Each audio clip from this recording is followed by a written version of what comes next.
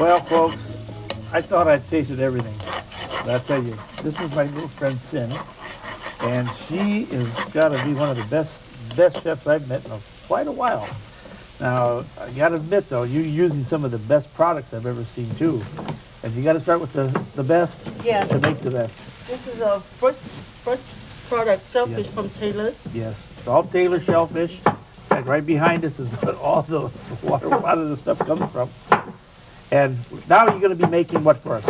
I'm gonna do Mediterranean mussel, Okay. saute in herb and spices. Wait till you see this. You will not believe the look of these mussels. I just got back from Europe and I thought the mussels were good there. Nothing like them, huh? These are the finest. Okay. Okay, she knows what she's doing.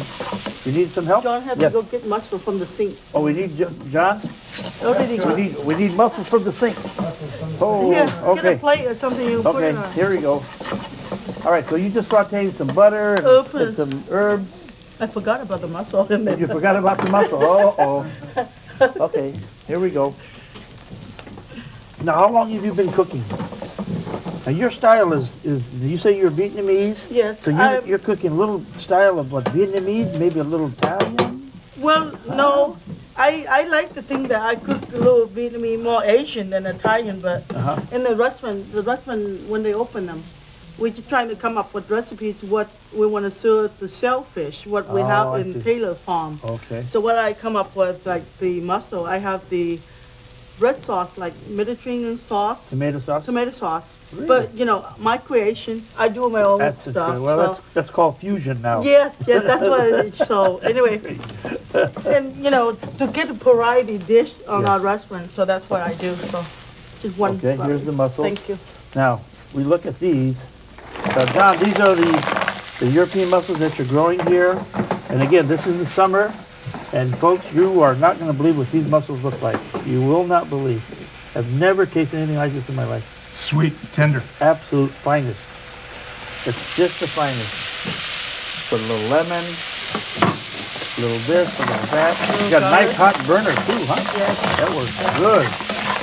you can take Mm. these anywhere, the burner. I know. I got to get one of these. I've got everything else. We might as well get one of these, huh?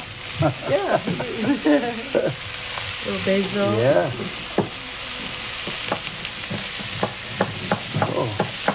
So John, you have these mussels what all year round now?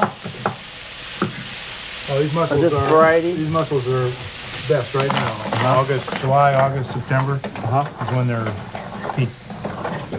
And then what what happens after that? Well, they, they spawn in the wintertime, but look how, Okay. Just that's incredible. very fat, very Never seen plump, anything like that. tender, sweet. Most mussels you get nowadays are just all shrunk up. There's nothing there.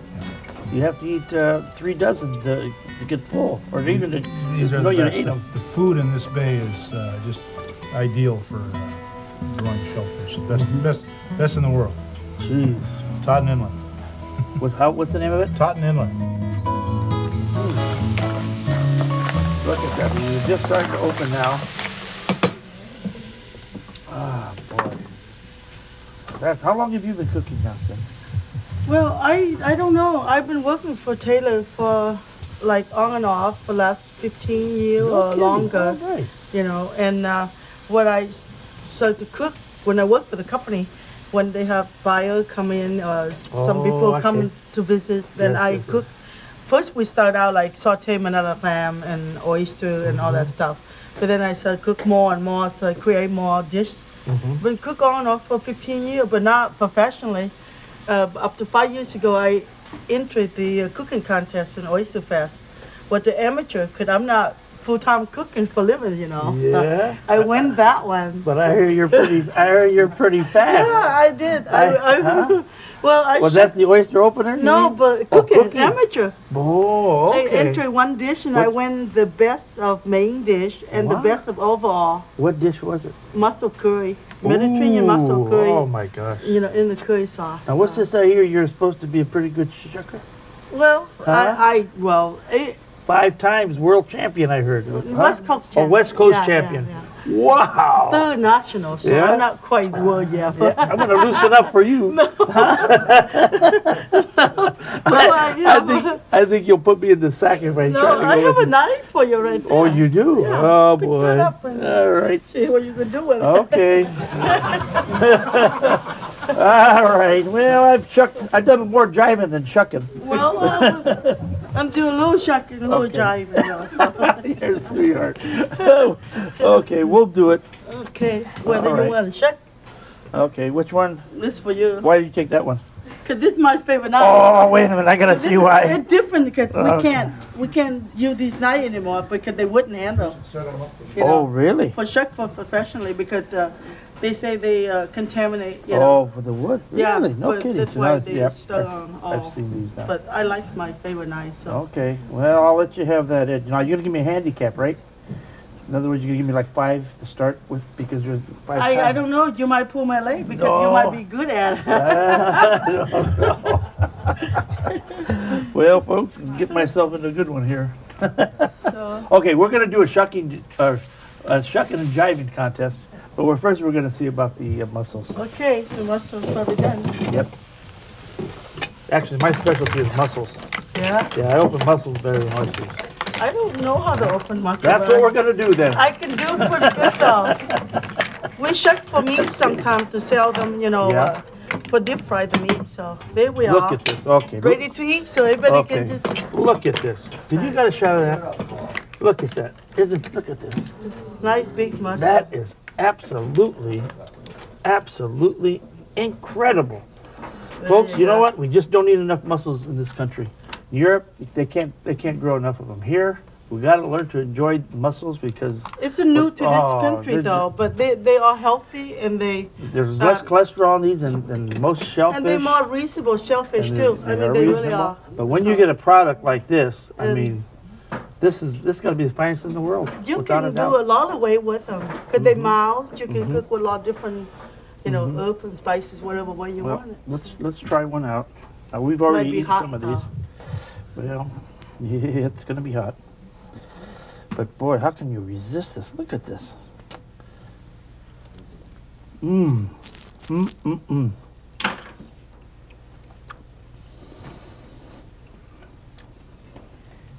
Absolutely fantastic. It is. That's the best I've ever had, without a doubt. Thank you so much. But this is supposed to be cooking on the beach, so I only Oh, have limited yeah. season, you know, spice and. Gee, with the stuff. wood smoke getting the smoke getting inside, it'd be good.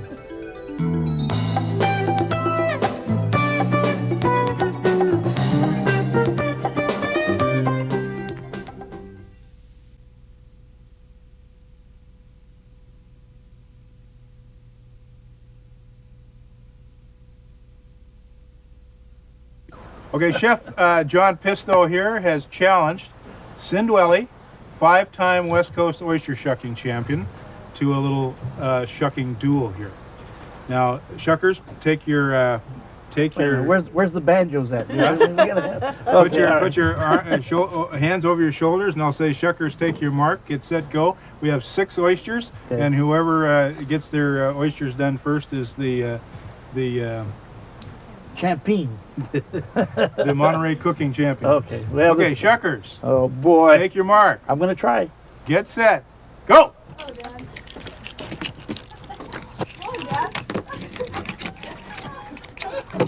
You- You're only doing half of it, John. I'll come back and get the rest. I gotta come back for it.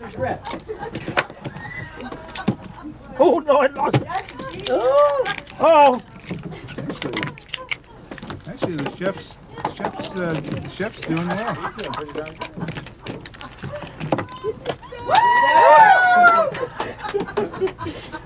Now let's examine the quality too.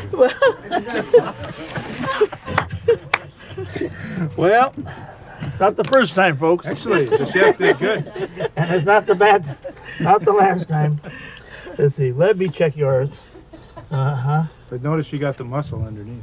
So did I. What do you mean? Oh, Jesus. What happened to that one? They're sticky. These are called sticky oysters, folks. Good job, chef. good That's, that's great. Well, you can see why she's a champion. And, uh, well, kind of a runner up a little bit, but that was real good.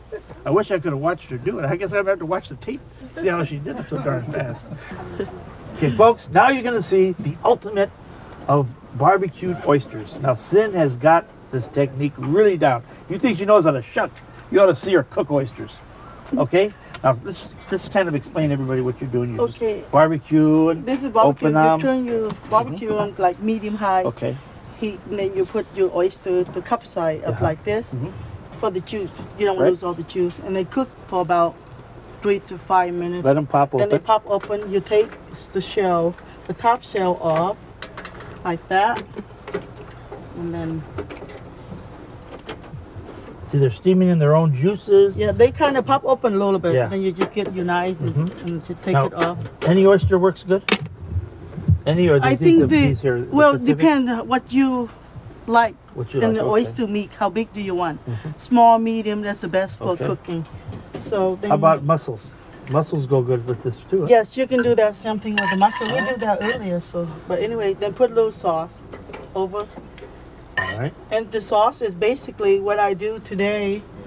I have little um, butter and garlic, brown little garlic and lemon juice and little black bean sauce and basil in here. So let me tell you, folks, this is delicious.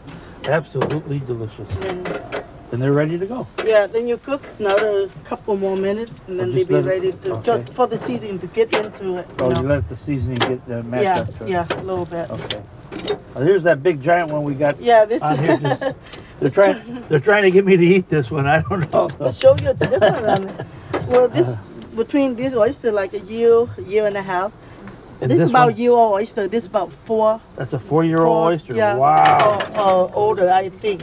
So So you want it the nice and juicy in there? yeah, because uh, you you need Okay. a little bit nacho chew from the oyster. So Okay, and there it is. It's real simple and delicious. And anyone can do this at home, and you can put any kind of sauce. You want to go with the tomato sauce, you can. You can, huh? Anything you want, really. with the sauce, basically, Yeah. you, you can be more creative if you like. Sure. But you know, and But this sauce is just delicious. But it's the idea of doing them. They're, I mean, great, great hors d'oeuvre, having party with people. yeah, you do. Just sitting, yeah. doing exactly what we're doing today. Well, for the people who don't have, don't want a barbecue, they can do this in, the, in the oven too. And doing them in the oven. Yeah, same, same different. But know. again, you know, the Uh-uh. key, the key is really using first-class product, Yeah. and that's that's the key. Well, you buy oyster, you make sure they're fresh, and uh, Yep. and they taste better that way too. Well, I tell you, you've got the best of both worlds here. Yeah, it's Very, lucky very for me good. though. Yeah, I get lucky. to Yeah. get the. Okay, there you have it. Barbecued oysters by Chef Sin. Sin, let's show people another oyster, okay? This is probably, to me, the finest of all the oysters on the half shell, okay? This is called, Kumamoto. now we know um, Taylor has been growing these now for about 15 years. 15 years. Yes. I know, gee. So, you know, these these are probably the sweetest of all of them, wouldn't you say? Yes. No. They, I, I like them. They the Yeah. best. They eat the But- best. Good, good term. now you now, if you're ever in the, the Olympia area in Washington, Sin has got a fantastic restaurant. Now we haven't been to her restaurant yet, but because they're doing a little remodeling. But she's been cooking for us all afternoon here, and I can tell you, she knows what she's doing. Okay, if you're ever in the area, it's called Sin's Oyster uh, clam and oyster. Clam house. and Oyster House.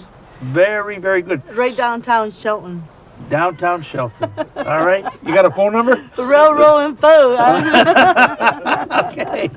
All right. No, hey, very, very, very good. Make sure you, if you're in the area, try. Go out of your way to go there, folks. okay. Okay, folks. So there you have it. These are the people that made this trip uh, possible. I want to thank, uh, first of all, Mr. and Mrs. Taylor. Thank you so much was very, very nice of you to put up with all our antics. Sin, I want to thank you for being welcome. real good. We're gonna get even with you one of these days. Bill, thank you very much. And John, my buddy, mushroom hunter, and Yeah, we got And- chanterelles in two weeks. Oh boy! but thanks for inviting us up here, and uh, I'm sure we've opened people's eyes on eating shellfish, and, and particularly the quality that's grown up here. You have really something to be proud of. It's, I've never seen quality like this. Again, that's called Taylor uh, shellfish, folks. okay, thank you again.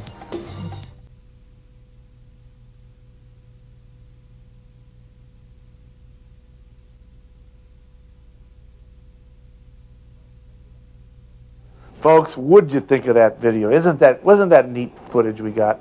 And Sin, wasn't she something? She was fast. I mean, she was fast. I thought I was fast, but she was really fast. Um, I was really impressed the way she cooked those oysters, and I'm going to show you how to cook them at home. Now, when you buy them, make sure you buy big ones.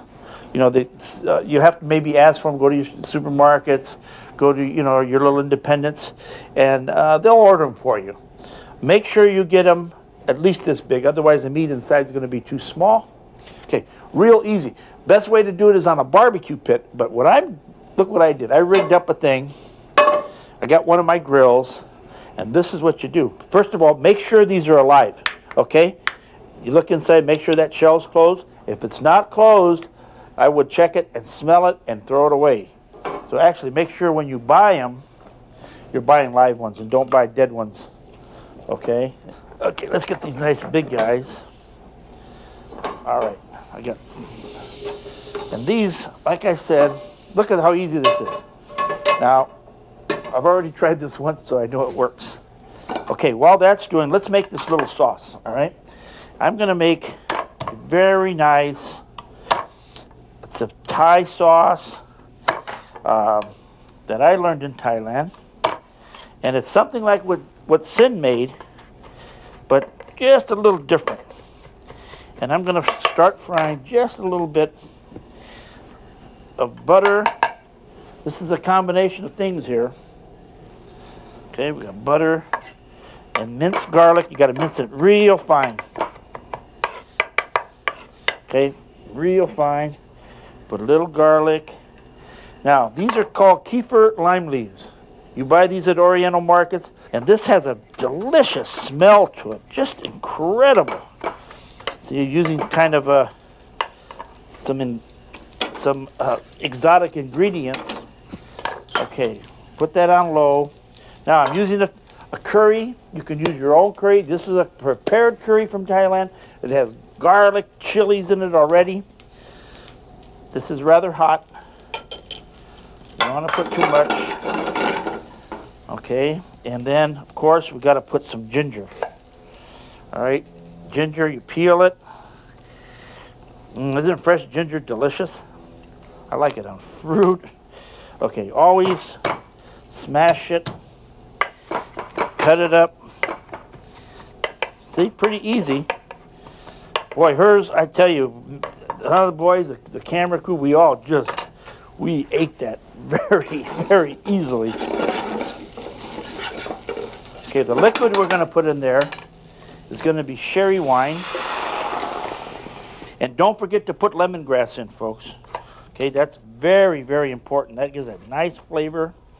And you buy that in the Oriental stores also. Very, very important to put that in.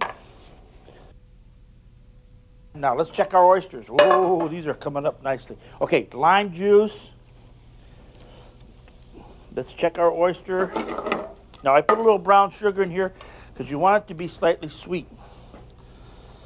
Okay, you got all those nice. Okay, this is what it's going to look like. You see? You see, they're not quite cooked yet. Perfect. Exactly the way we want them. Okay, so what you do next is you put a little this, you put a little this. Now you can use a tomato sauce. You can use. I'm using this Oriental sauce because the one Sin made for us up there was so delicious. Boy, poached in their liquids and poached in that nice sauce we got. Folks, you've got barbecued oysters. I would serve three to a person. unless you're big guys. Ladies, these are easy to eat. Now, remember the secret to these, folks, is to make sure you cook the oysters all the way through. You don't want these are too big. You want these guys poached all the way through. They got to be on the hard side. Easy one. Hope you enjoy. It.